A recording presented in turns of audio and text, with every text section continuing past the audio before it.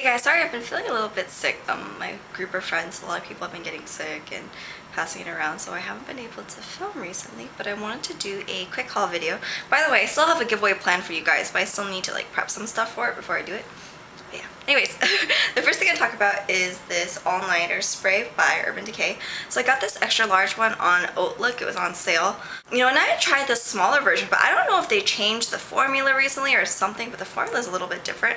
Or maybe just the bigger bottles are better than the smaller bottles, but I actually think this bigger bottle is a lot better than the small bottle. And I already like the smaller bottle. I guess they put perfume in it, which, you know, some people would consider a bad thing. I like it. I really like how it smells. It smells really pretty and fresh. And also I noticed the big bottle actually sprays a little bit finer and so it just doesn't feel as thick and sticky. So if you don't like the small bottle, you know, I would maybe suggest even trying the big bottle because for some reason either they changed the formula or it's a little bit different now. I don't know what it is, but I like it even more than I already did and I already really liked it. and so the next thing I tried is this Shiseido sunscreen. This is the Urban Environment one. So a lot of people were saying, oh by the way, it's SPF 50. A lot of people were saying that this one would actually be really good for oily skin, so I was like super excited.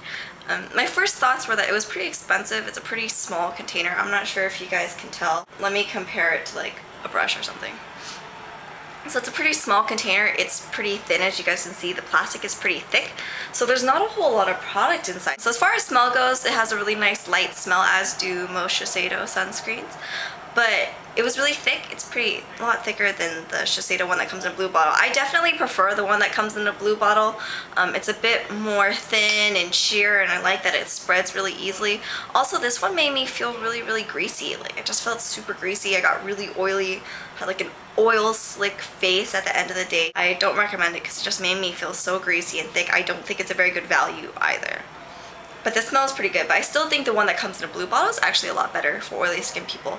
And just in general, because it's so much more product for the price, this one I just don't feel like is really worth it, because look at how little product you get. It's so small, it doesn't really justify the price to me. So the next thing I tried was this CanMake, it's eyebrow powder. So I personally really like eyebrow powder, and that's because um, like most Asian girls, my eyebrows can get really thin really quickly. and sorry, it's really hot right now. It's probably in the 90s, which is pretty hot for SoCal. Normally, you know, I like to use brow powder just because even though I like the look of a lot of pencils, I feel that it kind of makes my eyebrow hairs fall out. It comes two colors, a base color and like a deeper color. I can really only use the deep color for my whole brow just because my eyebrows are kind of dark. But ideally, you would fill in kind of thinner spots with the base color and then you would just emphasize the arch in the end with the deep color. But I just filled in my whole brow today with the deep color. It has a cute little checkerboard pattern. So what do I think about it? Um, it comes with a little brush too. A little angled brush, which I don't like. It's actually kind of really cheap feeling and you would think this would be okay, but this is actually really thick. Um, but if you're someone who likes those kind of thick Asian brows, if you know what I'm talking about, I'm talking about like those like Korean makeup and Chinese makeup, um, kind of that look. If you like that kind of look, then you'll really like this. But if you like really emphasized brows that look very sharp and clean, then you're probably not going to like it. But if you like that soft, full look, then I think you would really, really like this. And then otherwise, I don't think it's like a great value or anything. And it does last all day. It lasts very well.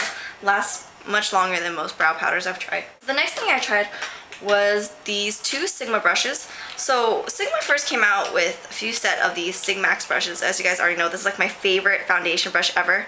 It's the F80, gives you a great finish. Um, and so when this became really popular, they basically made a whole bunch of these brushes with this kind of, and I'm glad because I think the MAC Duo Fiber brushes were awful.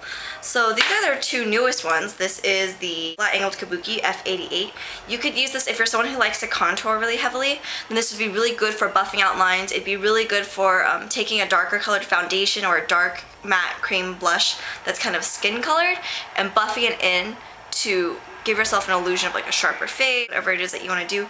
So unfortunately, I don't really have a use for this because I don't wear my makeup super dark and I don't like to contour my makeup very heavily and so I don't personally really have a use for this. This is probably what you would use that for. And then the next brush they sent me, this is the one that I really liked. It was the Precision Flat Angled Brush. This is the P88. So I think this is supposed to be a eyeshadow brush and I don't like to use it for eyeshadow just because I actually like to use it for under eye concealer and I'm going to show you guys how I use it really quickly. I was using this Urban Decay one for a while. This is some a good Karma brush that they gave us in the Beautylish social about a year ago and so this is what that looked like And when I got this, I was like, oh, it's just like the same thing, but it's a little bit bigger. And so I'm gonna show you guys how I use it. The first thing I'm gonna do is I want to take a tiny bit of Smashbox primer, pat it on underneath your eye. And then I'm just going to take my under eye concealer. You're just going to want to put a little bit of primer underneath. I don't actually use primer on my face anymore because I find that it makes me more oily, but I still like to use it under the eyes because it makes the concealer apply a bit smoother. It also makes it look less dry, and I think dry under eye concealer and too much under eye concealer are the reasons why a lot of people's makeup looks really heavy, and especially under eye makeup. I'm just going to take a little bit of my concealer. This is the Shiseido concealer stick. This is like my favorite under eye concealer. And then see, this is where most of my darkness is right here underneath the eye area. It's kind of drowning out because the light's really bright. There you guys can kind of see it now. And so I'm just going to go start patting it in.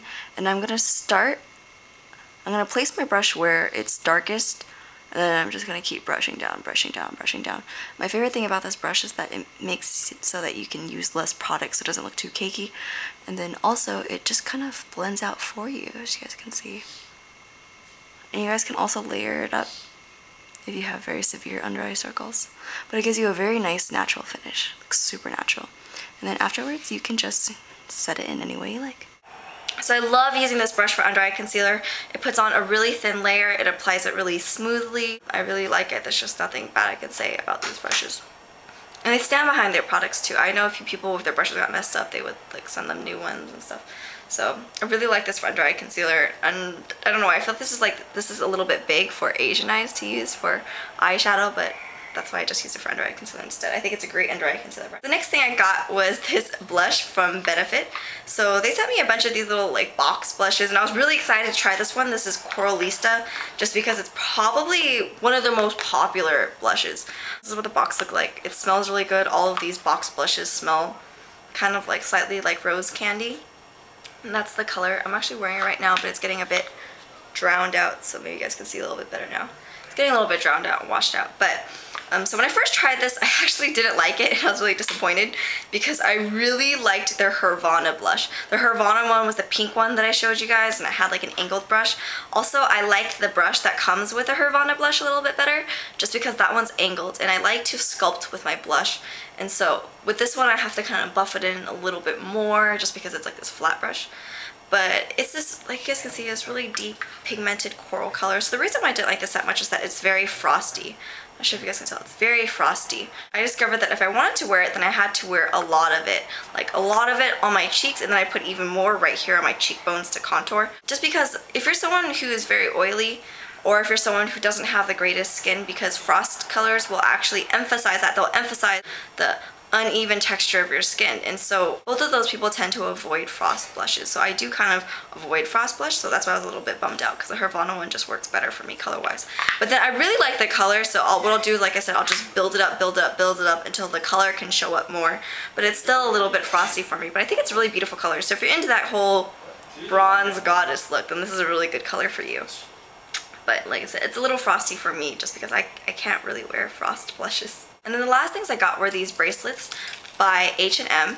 Um, so I think H&M is kind of like a terrible place to shop in. It's just, I don't know about you guys, I can never really find cute stuff in there so I get really frustrated and I leave really quickly. But I saw these bracelets on my friend Jenny, you guys can see her right here.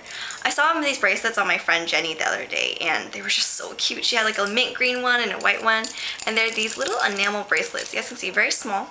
So they're a little small, so I think if maybe you have like a larger wrist, they probably wouldn't work that well for you.